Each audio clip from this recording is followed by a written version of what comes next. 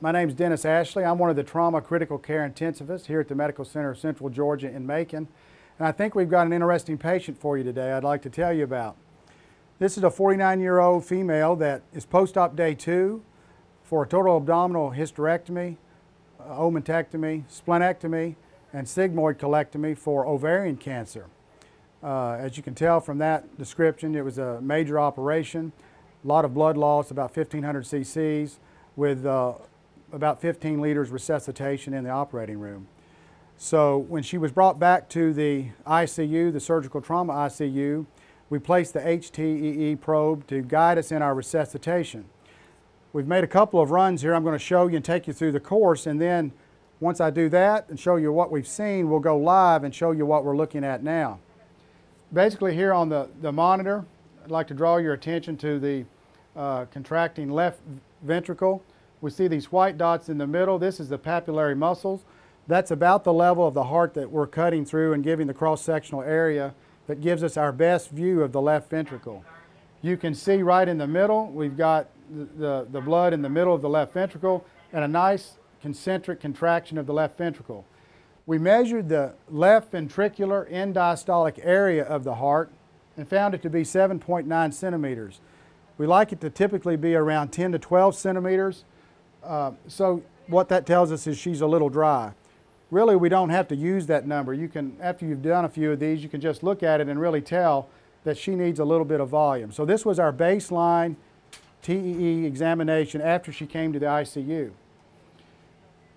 on post-op day one, and, and, I might mention at this time she was on Levophed, about 15 to 20 mics. She was tachycardic, consistent with the clinical picture and needing volume.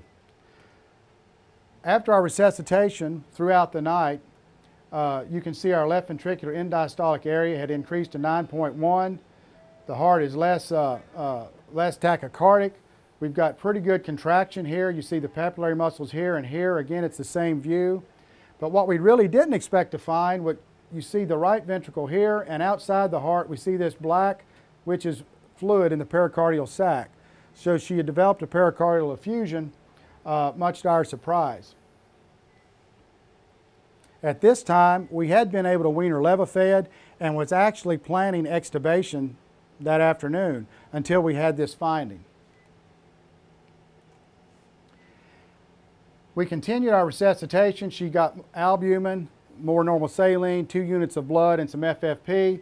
And you can see here, we've got our left ventricular end diastolic area up to 10.4. But again, if you really just look at the pictures, to the naked eye, you can see this ventricle is uh, much more efficient. It good filling volume here, good contraction. But if you'll notice outside the heart here, around the heart, the effusion has increased, and she has uh, early signs of uh, pericardial tamponade. If I showed you some of the other views here, you could actually see that right ventricle just lightly compressed in, in early diastole. This resulted in a consultation to our cardiothoracic surgeons. She went this morning for a, a, a pericardial window, received about 200, or they took off about 250 cc's of volume. And you can see now post uh, window, we've got ventricular contraction, again the same view, and this fluid out here outside the ventricle has disappeared. There's a little bit of, of, of, a black streak through here, and that is just artifact from the NG, which sometimes you'll get if you catch it just in the right plane. So with that history, we'll go live now. the probe is inserted into her, in, into her stomach. Show you the handle here. This is really, really, there's not too much to the handle for me to manipulate or do. Uh, I do have one lever here, and I'll move the lever uh, back towards me, which is uh, uh, anteflex. I'll move it away or in this direction, which will be retroflex. So you'll hear me alluding to that throughout the presentation, and that's what I'm doing. I'm a surgeon, so I really understand the anatomy, or I, I learn by looking at the anatomy. And so basically, I'll draw your attention here. You see the probe is down into the stomach. And what I'm going to do is anteflex and aim the probe up through where the beam sh shoots uh, cross-sectional area-wise through the, uh, the left ventricle.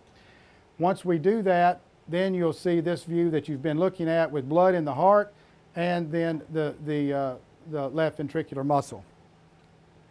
So we've gone live on the screen here and I'm going to just manipulate this a little bit until I bring the ventricle into view. And you can see right here, papillary muscle, papillary muscle, ventricular contraction. Again, we've got a little bit of an artifact from the NG, but it really doesn't occlude our view. I'm going to bring that in a little tighter now that I've pointed to it on the screen. And you can see the good ventricular contraction. And if you look outside the heart here, there's really no pericardial effusion, which we wouldn't expect to see after her surgery today. So now I'm going to go to the, to the next view. There's really three major views that we, we use at the bedside here with HTEE. I'm going to retract the probe back out of the stomach into the esophagus. And once I get it to this level here, I can, I can aim through the heart at this level and get the four chamber view. And you'll see I'll be looking at the right atrium, the right ventricle, left atrium, left ventricle. now to do that, I have to find a very important landmark as I come back, and that will be the aortic valve.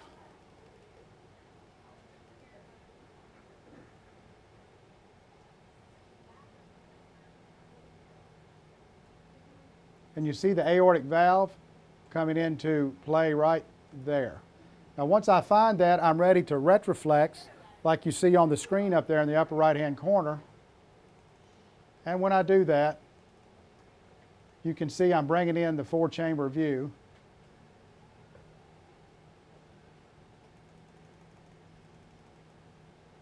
Right here. So I've got right atrium, tricuspid valve, right ventricle, septum, left ventricle, mitral valve, and left atrium up here. And let me just change the position here a little bit so you can see that a little better. And now you can see the four chamber view here. Now what's important about this, on one of our previous views, in early diastole, on some of our preliminary views, you can see this, this right ventricle having trouble filling, consistent with early tamponade. The third view that I like to get to help guide our resuscitation is pulling the probe back just a little bit further into the esophagus and looking at the superior vena cava to see what our resuscitation is like. Is the vena cava full? Is it flat? Does she need more volume or not? And to do that, I need to find my aorta. Again, I'll find the aortic valve first, aorta, and then I'll see the SVC.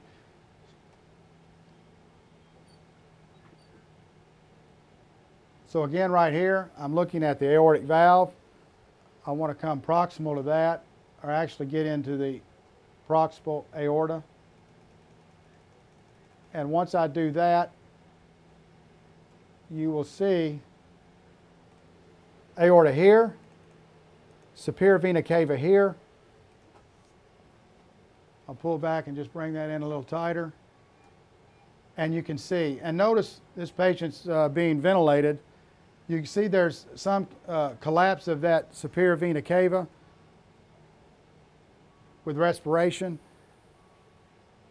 And so basically this patient, if she showed signs of hypovolemia, might be or would be probably fluid responsive. And that goes along with her history. So her urine output drops off at all, I can easily see here she needs more volume. I certainly wouldn't just treat the screen. I wouldn't, just like I wouldn't just treat a CVP, but certainly knowing uh, that I can look at this and tell you that it's not intrinsic renal disease, that, that she needs a little bit more volume. So, in summary, I've really very quickly here gone through three different important views, if you will, with the HTE probe. In our patient, it was helpful with our resuscitation. She was resuscitated in the operating room, but was still hypovolemic when she got to the ICU. This helped guide our resuscitation. That's not new, that's something we're used to. But in this patient, we also identified a new problem. Pericardial effusion, pericardial tamponade, that led us down an extra or another track. We'd actually weaned our pressors, thought we were headed toward extubation, had to change gears a little bit, get cardiothoracic surgery involved, and then get a pericardial window. Now we're back to that baseline again where she's off her pressors. She's doing very well, and I hope tonight or by tomorrow we'll have her off the ventilator. So with that being said, I'll stop there. I hope that's helpful. Uh, thank you for letting us share our patient with you.